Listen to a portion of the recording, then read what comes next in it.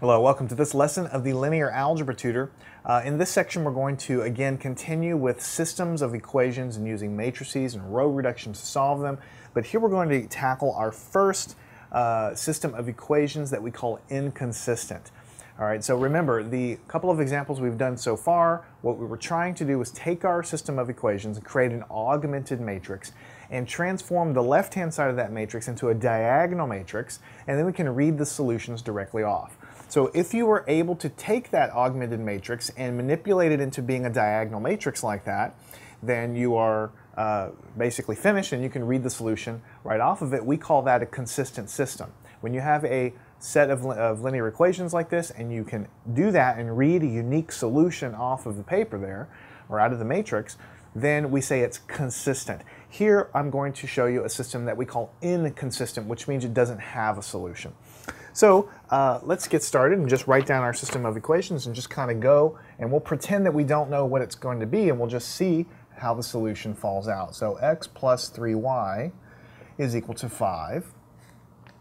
Uh, 2x minus y is equal to 3. Negative x plus 4y is equal to 9.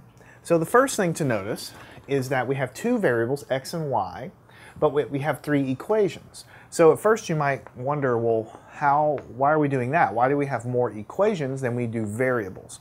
Well, when you think about it, each one of these equations is a line. When you have two variables like x and y and they're linear like that, then they're going to form a line. If I were to solve this equation for y, make it y equals something in terms of x, and solve this one for y in terms of x, and solve this one for y in terms of x, I would have three lines. y is equal to mx plus b, basically, and I could plot those lines. So this set of equations is three lines. Now, um, if I end up getting a, a, situation where when I plot it, all three lines cross in a nice point right here, and this point is common to all three lines, then the xy value of this point is going to be what we're going to find the solution. It's going to be called the solution of the set of equations.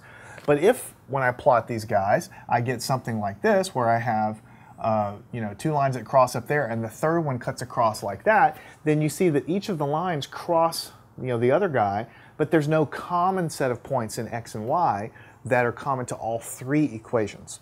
So if the lines end up looking like this, we'll have a consistent solution. If the lines look like this, then there will not be a single point in space where all of those lines coincide, so we won't have a solution. So I'm not going to beat around the bush. This set of equations is going to be inconsistent. Let's see how the math actually shows us that. So what we want to do is create an augmented matrix here.